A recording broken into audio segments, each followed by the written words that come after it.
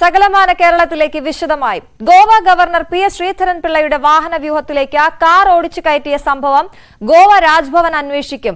ഗോവ രാജ്ഭവൻ കോഴിക്കോട് കമ്മീഷണർക്ക് പരാതി നൽകും. സി കോഴിക്കോട് ജില്ലാ സെക്രട്ടറി പി മോഹനന്റെ മകൻ ജൂലിയസ് നികിദാസ് ആണ് കാർ ഓടിച്ചത്. ഇയാളെയും കാറും കസബ പോലീസ് കസ്റ്റഡിയിലെടുത്ത് കേസെടുക്കാൻ തീരുമാനിച്ചെങ്കിലും പിന്നീട് ആയിരം രൂപ പിഴ ഈടാക്കി വാഹനം വിട്ടുകൊടുത്തിരുന്നു. വി വി ഐ പിയുടെ വാഹനത്തിന് മാർഗതടസ്സമുണ്ടാക്കിയതിനാണ് പിഴ ഈടാക്കിയത്. വിവരങ്ങളുമായി എം എസ് അനീഷ് കുമാർ ചേരുന്നു. അനീഷ് എന്തായാലും ഗോവ രാജ്ഭവൻ ഈ കേസ് അന്വേഷിക്കുമെന്നാണ് പറയുന്നത്. ഇവിടെ ആയിരം രൂപ പിഴയിൽ വാഹനവും കാറും ഒക്കെ വിട്ടുകൊടുത്തിരുന്നു.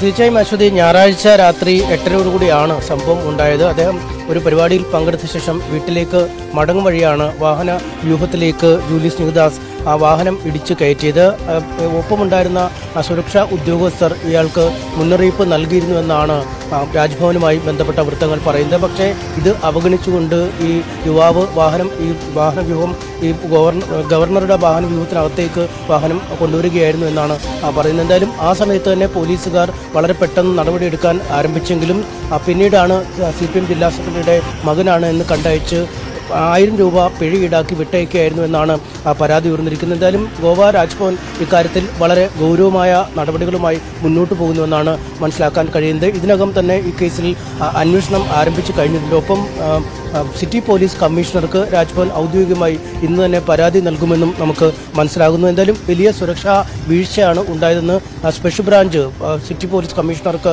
റിപ്പോർട്ട് നൽകുകയും ചെയ്തിരുന്നു. ഇസഡ് കാറ്റഗറിയിലുള്ള വ്യക്തിയാണ് ഗോവ ഗവർണർ. അദ്ദേഹം പോകുന്ന ഇടങ്ങളിൽ ഇത്തരത്തിലെ സുരക്ഷാ വീഴ്ചകൾ അതീവ ഗൗരവമായി പരിഗണിക്കേണ്ട കുറ്റകൃത്യമാണ് എന്ന വിലയിരുത്തലുമുണ്ട്. എന്നാൽ ഈ സ്വാധീനമുള്ളതുകൊണ്ടാണ് ഇത്തരം മറ്റന്വേഷണങ്ങളിലേക്ക് നീങ്ങാതെ ഈ വാഹനം കസ്റ്റഡി എടുക്കുകയോ അല്ലെങ്കിൽ ഈ ഇടിച്ചു കയറ്റിയ ആളെ കസ്റ്റഡി എടുക്കുകയോ ചെയ്യാതെ കേവലം ഫൈൻ ഈടാക്കി മാത്രം വിട്ടയച്ചെന്ന പരാതിയാണ് ഉയർന്നിരിക്കുന്നത്. എന്തായാലും ഇക്കാര്യത്തിൽ വളരെ വിശദമായ അന്വേഷണത്തിലാണ് ഗോവ രാജ്ഭവൻ ഒരുങ്ങുന്നത്.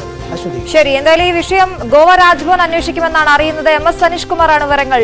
നൽകിയത്. രാഷ്ട്രീയപരമായും ഈ വിഷയത്തിൽ വലിയ ചർച്ചകൾ വരാൻ ഇടയുണ്ട്.